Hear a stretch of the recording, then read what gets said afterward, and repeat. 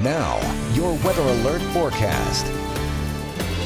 Good afternoon, everyone. I'm 3 News Now. Meteorologist Mark Stitz. All that sunshine out there this afternoon will continue to heat things up. Temperatures topping out near 50 degrees along the I-80 corridor. That's about 10 degrees above average for this time of year. South of I-80, low 50s, but north of I-80, you guys could get stuck in those mid to upper 40s. But either way, still above average. As we go towards 9 o'clock tonight, we do quickly start to cool down with the loss of that sunshine. We'll be down in the mid 30s at that point. point, and then overnight that cooling slows down, only dropping dropping down to the low 30s for the Wednesday morning commute under mostly clear skies once again.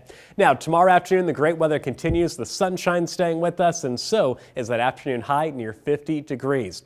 Now, with today's high of 50, though, we'll be breezy at times in the afternoon and through the early evening, but overnight tonight, those winds will start to die down little by little as we cool off to 31 here in Omaha. Tomorrow afternoon, though, more great weather highs near 50, lots of sunshine. Thursday, still pretty close to 50 degrees. A few more clouds, though, because we do have a cold front pushing through. We're really not going to notice an impact from that cold front until Friday. We'll start things off in the mid 20s in the morning, only in the upper 30s for the afternoon, but keep in mind that is average for this time of year year. Good news is it's a short-lived cool down. Saturday, the winds pick up out of the south, pushing that warm air back in, so we'll hit near 50. Sunday, we stay very mild, but some cooler air tries to push back in early in the work week, maybe kicking off a few snowflakes, but not expecting anything in the way of accumulation right now.